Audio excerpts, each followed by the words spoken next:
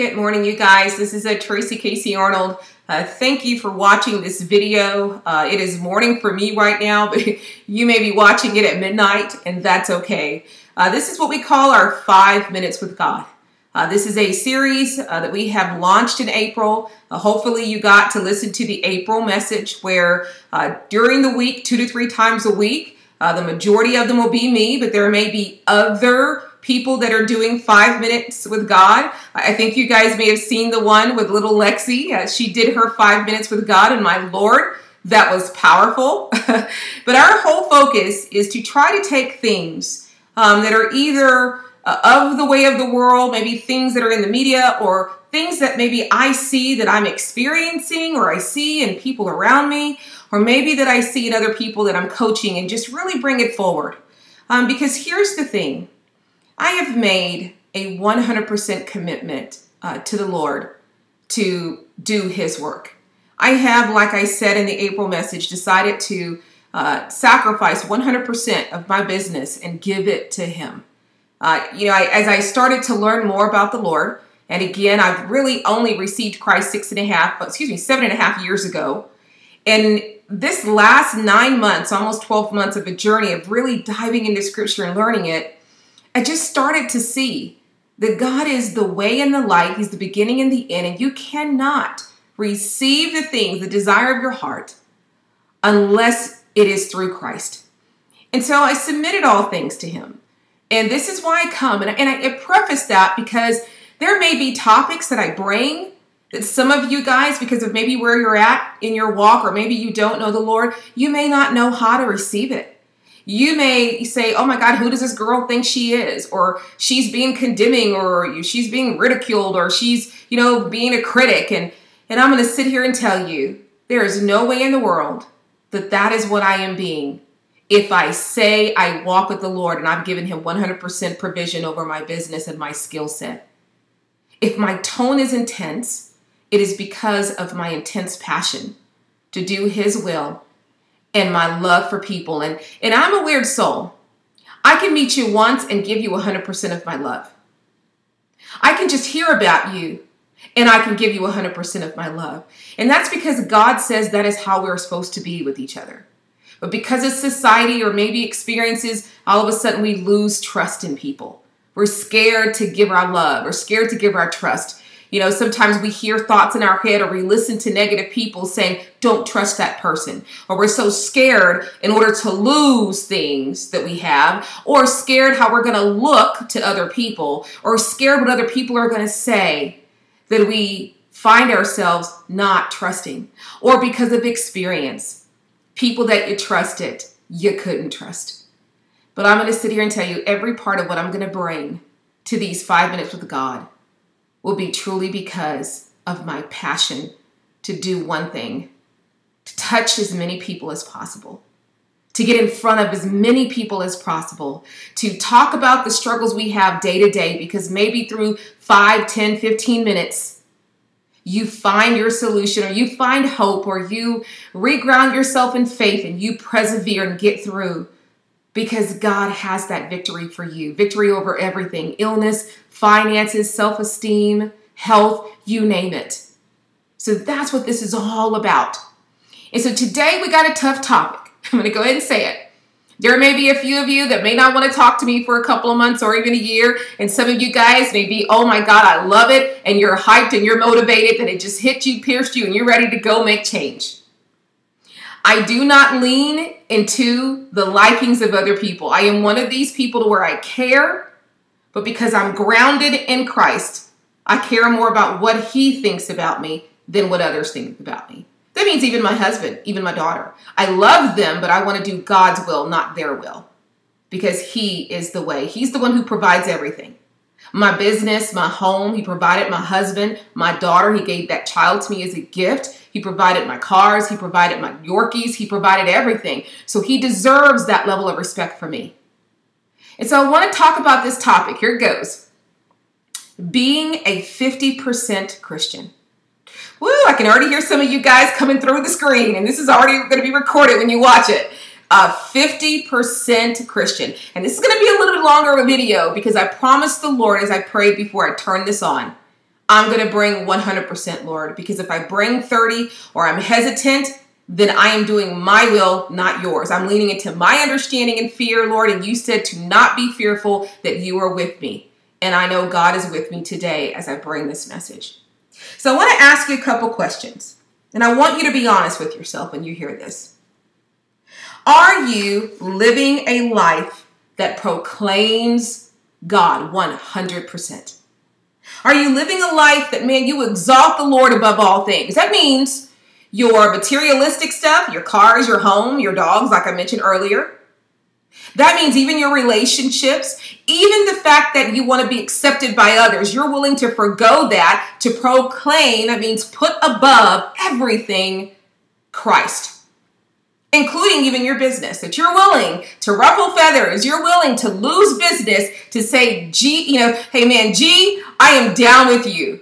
I love the Lord, and because of who He is in my heart and soul, and because of who He says I am to Him, and that nothing comes from anybody else but Him, I am down with JC. Are you living a life where you're promoting Jesus? Where if somebody hopped on your Facebook, they could see that you love the Lord and that you give him all the glory? Or do they hop on your Facebook and here it comes, all they see is pictures of yourself, selfies, pictures of your body and how great you look, or pictures of your business, or pictures of things like cars and, you know, vacations and money and all these things. And man, buy this and buy that. Do they go on your Facebook or your Instagram? Or man, here's a great one. And Jesus, again, this is your show. This is your mic. Use me, Lord. Could they even hang out with you? And because of how you are and what you say and how you act when other people you think are looking, people that see you that don't know you can tell that something's different about you because of how you carry yourself or how you act or even how you treat people and how you talk to people. Could they tell from afar or close that you love the Lord and you put him above all things? Could they tell that the price that was paid for your life with the blood that was shed, that you just love that and you respect that and you're grateful for it? And it's the best thing. And so, man, Lord, how can I not do that for you when you did that for me? Are you willing to stand strong with Christ as he stood strong for you, even though it means that you would be beaten, persecuted, betrayed by the people closest to you? And trust me, I know about that. Or even when it came to man, all of a sudden, here you are. People think you're great and wonderful. Man, that was Jesus. They put him on a donkey and said, Here's the king of the Jews. Whoop, whoop. They did all of that. But man, the moment that he got taken in that temple and they started to persecute him, every single one of those people fled, which means he was no longer the talk of the town. He was no longer the one everybody thought was great. He no longer had the status. I mean, even his business, his business was to build God's kingdom. And man, he started building it. Was bigger than anything. It was a beacon. I mean, that's why people wanted to take him down. They were jealous over it.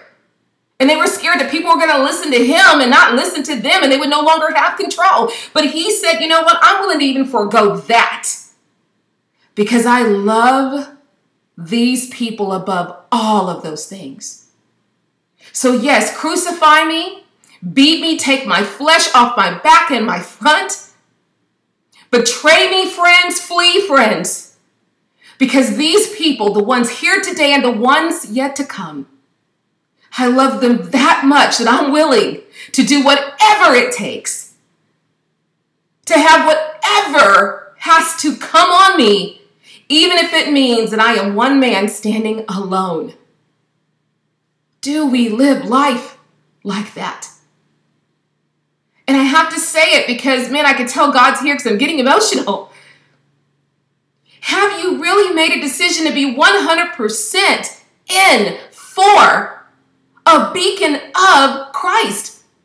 Are you one that cares more about, hey, let me make sure that I'm giving you the message of what God is and how He paid for a price and you don't have to live that way? Or are you more focused on, this is what I want, and I want, I want, and I need this, and I want to get here, and I, I, I, I, I. Are you selfish? Are you greedy? God was not selfish. and he was not greedy. So, are you living a life? Here comes as a role model where you can say you're down with JC, but if we go really look, if we hung with you, if we looked at you from afar, would we see Christ in you and how you live? You know, and it, and it, I can sit here because the things God has given me, I know I fall guilty to these things. You know, it's crazy. I got this list from the Lord. I'm going to go ahead and go here. Again, this may be a 15 minute video. And for those of you that watch, you're going to be upset or you're going to feel like, go, Tracey, God is using you. But this is the list that God gave me about being a 50% Christian that there's three different types. And I thought, wow, okay, God, keep it coming. And the sad thing was, I found myself in a little bit of all of them. So I know I got a long way to go, but man, I'm going to fight to get there. Number one, a 50% Christian that is in the closet. And I want you to ask yourself, man, is this you? Because again, I found myself in a couple of these. Do you decide when it's okay for you to divulge that you love the Lord and when it's not, so you only really kind of share it part of the time because you're too scared to share it all the time? Do you fear of lost friends, relationships, things being taken away? Fear what people will say, fear of acceptance, fear of looking like other Christians and what people will say about that, fear of change, struggling with truly believing, trusting a faith, fear of not being held in a higher standard and accountability. You're, you're scareful of that.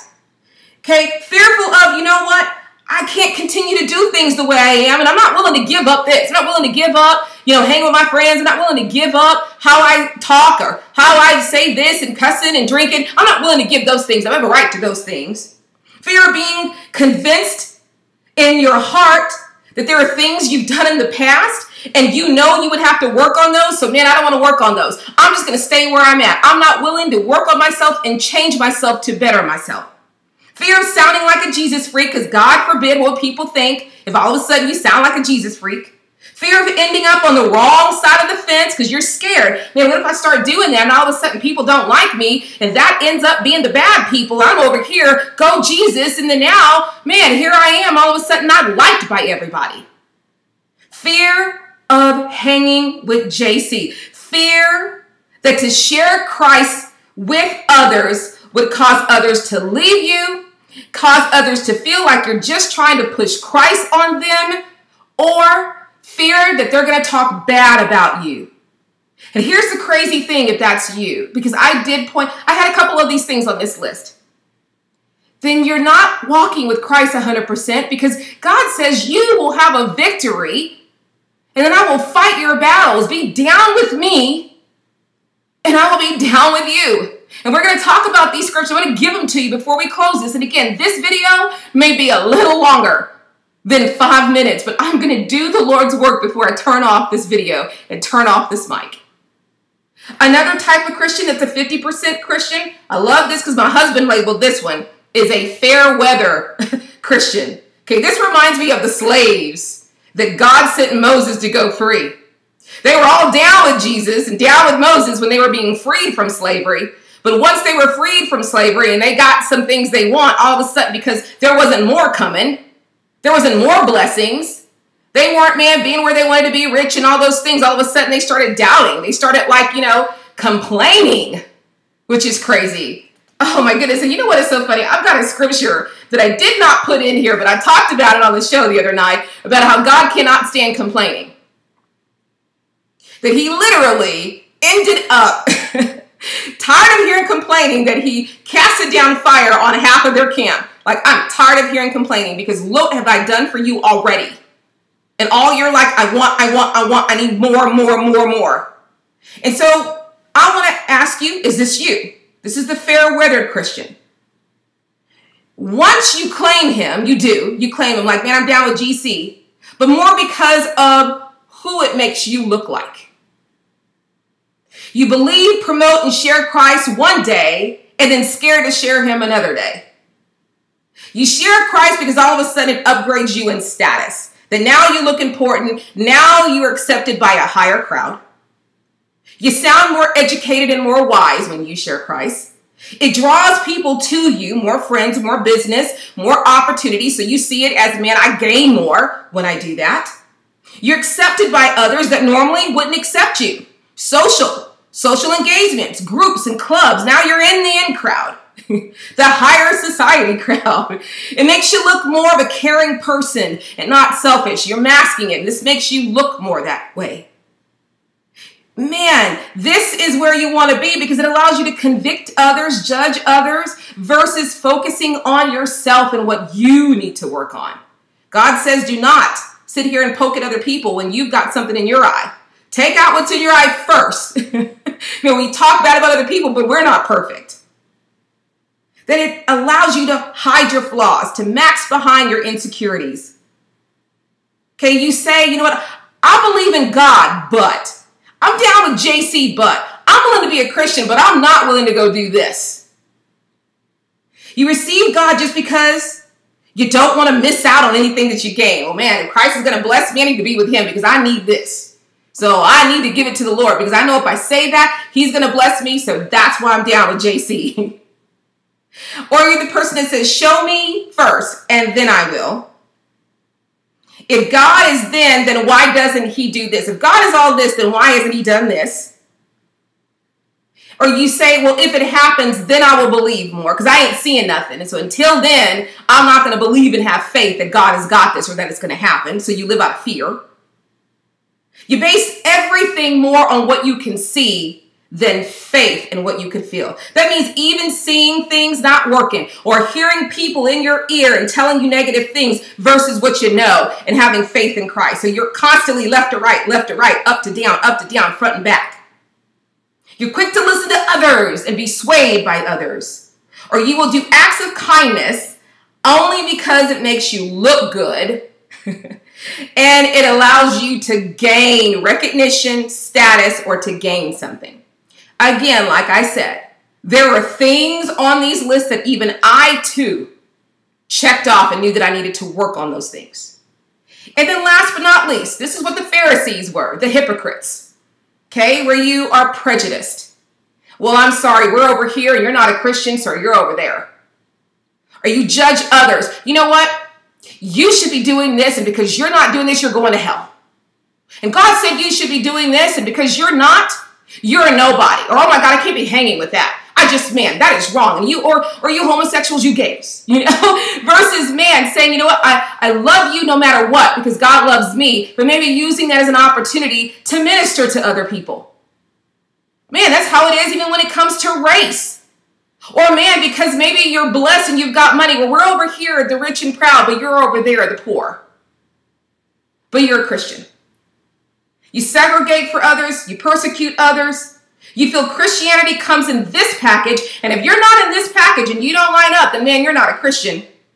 You use God to justify your actions. God told me to tell you. And because you're not, this is that. Or you know what, I had a dream and God said, you know, all of those things. But you're using it not to lift people up. There's nothing wrong with you saying, hey, listen, God has shared this to me. And I want to share it with you because I love you. But if you're saying God has shared this to me and you aren't and you're nothing and dang you and damn you and all those things to beat people down because you feel you're up here, that is also a Pharisees. It's how these Pharisees that persecuted God. They're the ones who put him and sentenced him to be on a cross.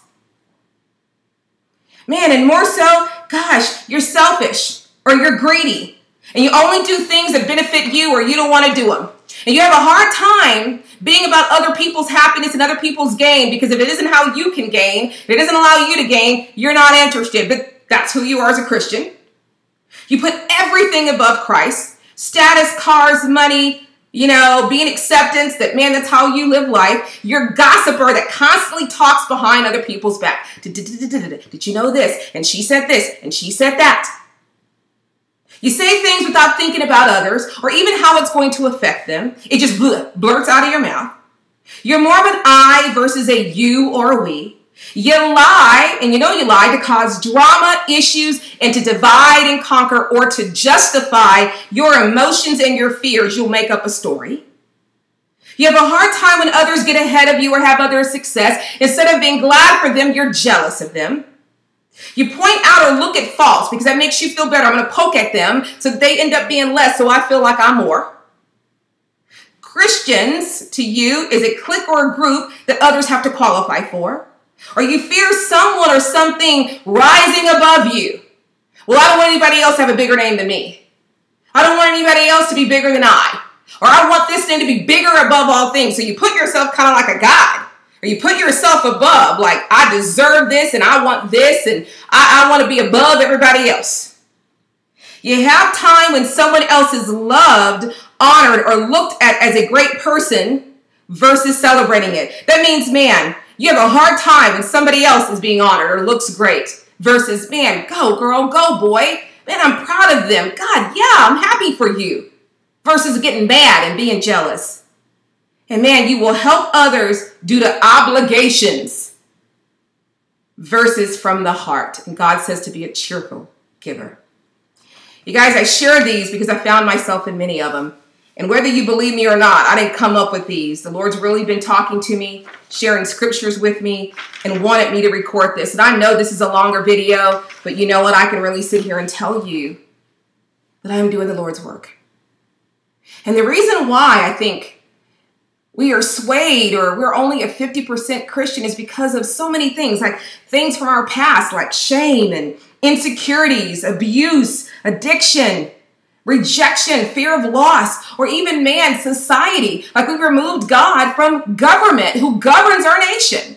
We've removed prayer from schools. So we're not even teaching our babies about the Lord. We removed it. We don't want anybody to feel any pressure or, or feel like they have to be or you know be you know be against any of their religious beliefs when it's a choice to pray or not to pray if you put it but we removed it from school heck we're even talking about and they've been trying to and they tried to take christ out of christmas and then we become a society that man no you can't promote jesus because that's bad Put him over here. Because, man, what if that bothers people? People don't want to hear that. We put him in a box. We put him over here. But, man, we become a nation that exalts everything else, man, above God.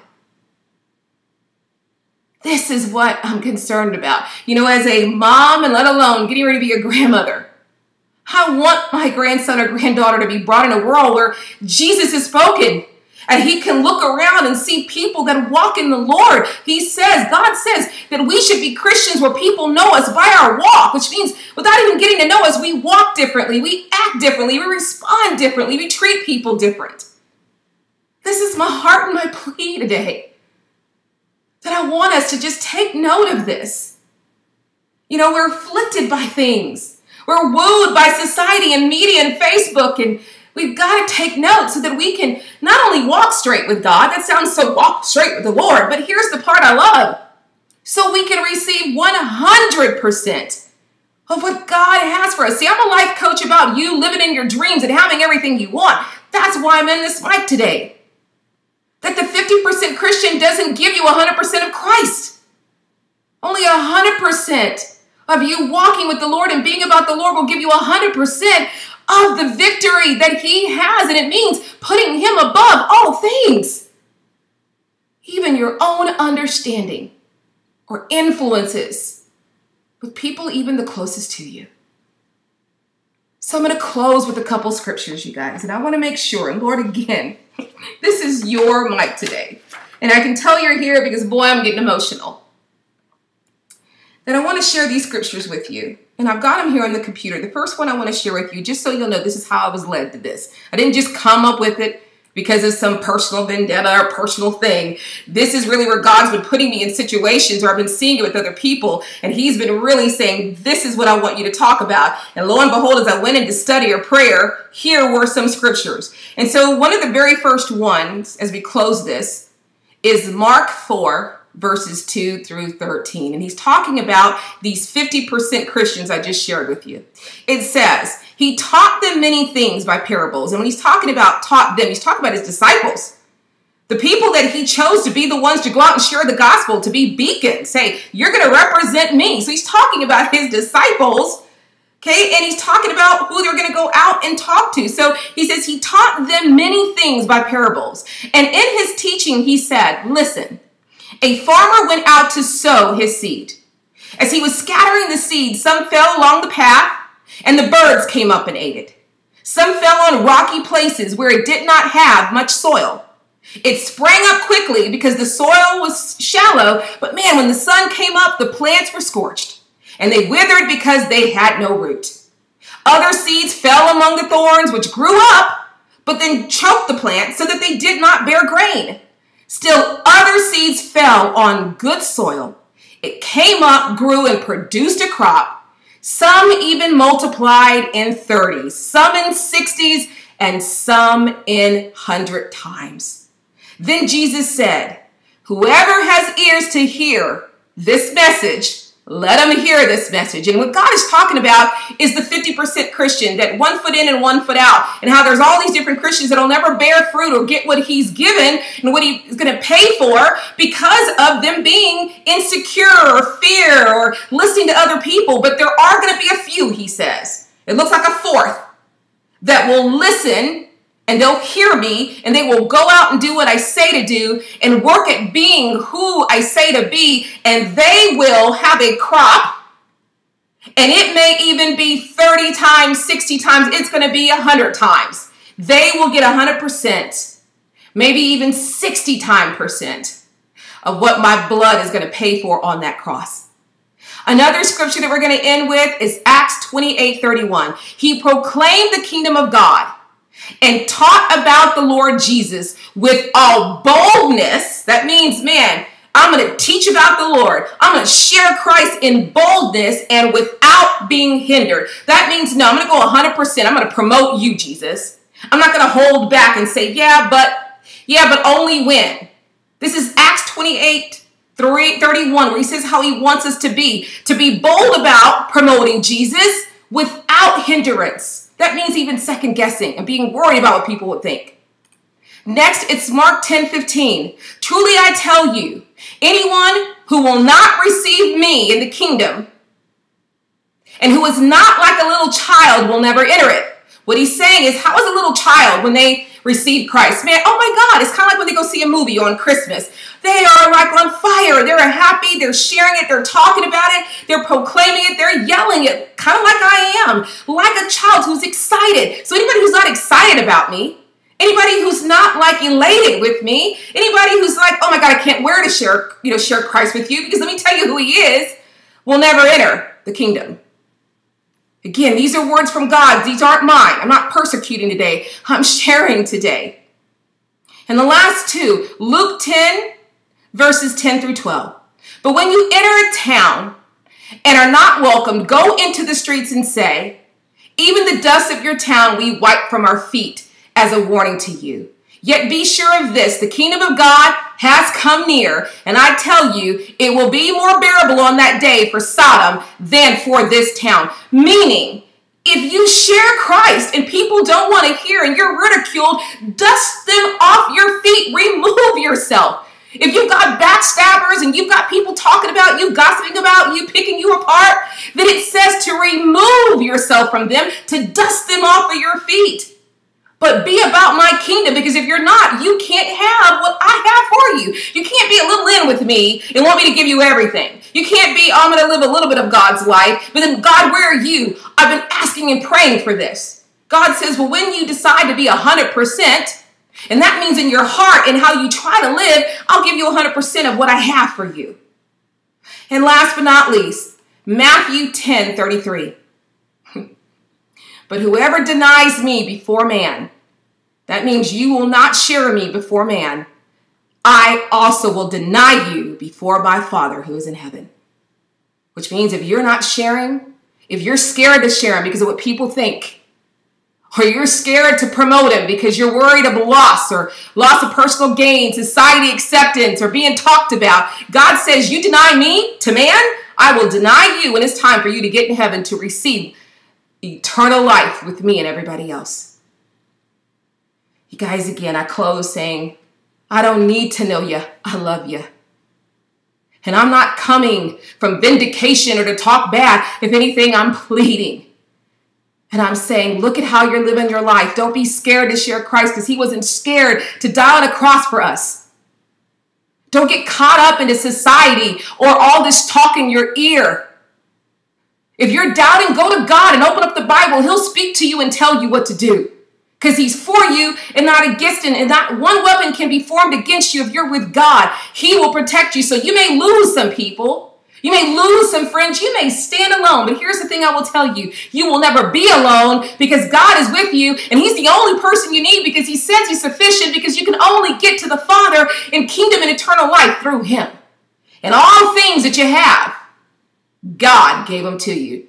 So like I say, why not be down with JC when he's the man with the plan and he's the one that can bestow blessings and he's the one who put you above all things and died on a cross and shed that blood for you. Guys, thanks for being with me this morning. I know this is a long video. I don't even know how long it is, but I hope you stayed tuned for every minute and listen because I'm going to say again, I don't know you and I don't need to know you, but I love you. And I'm pleading and wanting to share the gospel and what was shared with me. Peace out, you guys, and have a great day.